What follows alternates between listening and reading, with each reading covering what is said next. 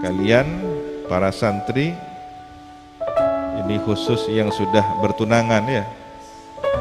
Ketika ditanya oleh tunangannya buktinya sampean cinta saya apa?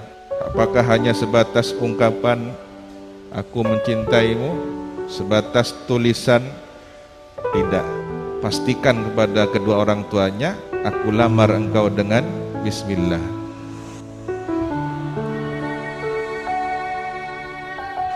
ini baru lelaki yang sejati. Bukan hanya dijanjikan kata-kata bukan hanya dijanjikan ucapan tapi tanggung jawab. Maka orang yang hanya mengatakan saja tidak ada bukti ini belum dikatakan cinta yang sesungguhnya